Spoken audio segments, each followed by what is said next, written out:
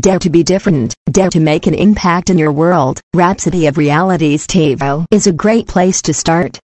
Get answers to life's questions from God's Word as you study the messages in this devotional daily. You can be sure to live a successful and victorious life. The Bible says, Let no one despise your youth, but be an example to the believers in word, in conduct, in love, in spirit, in faith, in purity. Welcome to Rhapsody of Realities TEEVO episode, brought to you by Rhaptured Podcast page. Excellent morning. This is Open Mic with Jasmine, and welcome to another episode of Rhapsody of Realities TEEVO, a daily devotional reading for teens. Be the light of the world. Today's reading is the Real Lord's Prayer. Learn to pray the right way.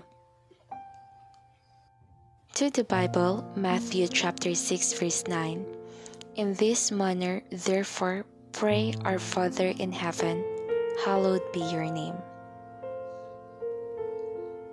Let us talk. When Jesus walked the earth, he prayed on several occasions, and his prayers are recorded for us in the scriptures. His disciples observed that he always had results when he prayed. And so they said to him, Lord, teach us to pray. In Luke chapter 11, verse 1.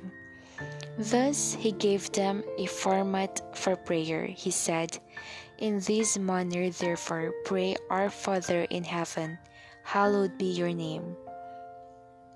Written in Matthew chapter 6, verse 9. Many Christians have misconstrued this to be the Lord's Prayer. They insist it's the prayer Jesus asked us to pray and that we must pray so. They further base their argument on Luke's writing in Luke chapter 11, verse 2, which reads, He said to them, When you pray, say, Our Father in heaven. What they fail to realize, however, is that the Greek word for say in the foregoing verse is lego.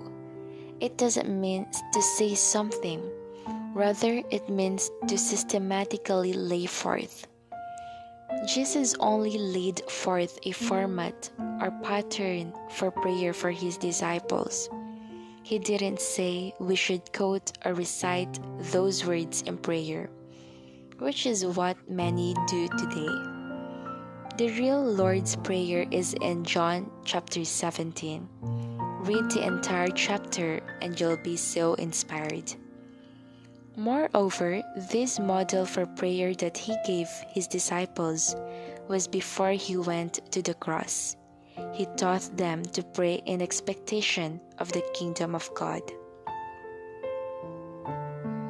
At that time, he hadn't died for the whole world, and the world was still being dominated by another kingdom, which is the kingdom of darkness. However, being born again, we've been delivered from the kingdom of darkness and translated into the kingdom of God's dear Son. Written in Colossians chapter 1 verses 12 to 13. In this kingdom, we have our needs supplied according to his riches in glory. So today, it doesn't quite make spiritual sense to recite the words in Luke chapter 11, verses 2 to 4 it's not a New Testament prayer. In the New Testament, prayer is based on our new relationship with the Father, a divine fellowship. This is what Jesus made possible. Now we pray through the Spirit and worship in the Spirit. Hallelujah. Go deeper. Read the book of Luke, chapter 18, verse 1 and John chapter 16, verse 26 to 27. Let us pray. Close your eyes and say this with me Dear Heavenly Father, I thank you for the light of the Scriptures. I am informed with accurate and precise knowledge of the Word, which enables me to pray the right way and have the knowledge of the glorious gospel of Christ. In Jesus' name, Amen.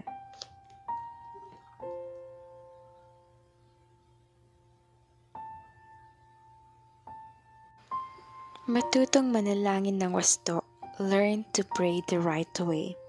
Bilang bagong nilalang kay Kristo, malaya na tayo mula sa kaharian ng kadiliman. Ang buhay natin ay mula sa Diyos. Ang liwanag ng salita ay nagniningning sa atin. Manalangin tayo ayon sa banal na espiritu. Sa bagong tipan, ang panalangin ay base sa bagong relasyon natin sa ating Diyos mayroon tayong banal na pakikisama sa Kanya. Kung kaya manalangin ng naaayon. Mula ngayon ay manalangin sa pamamagitan ng Espiritu at sumamba sa pamamagitan ng banal na Espiritu. Hallelujah. Make Jesus your new lifestyle. If you are not yet transformed, I invite you to make Jesus Christ the Lord of your life today by saying these words of prayer. O Lord God, I come to you in the name of Jesus Christ. Your word says, that whosoever shall call upon the name of the Lord shall be saved. I believe in Jesus Christ, the Son of the living God. I believe Jesus died for me and that he was buried and raised from the dead. Right now, I confess with my mouth that Jesus Christ is Lord of my life.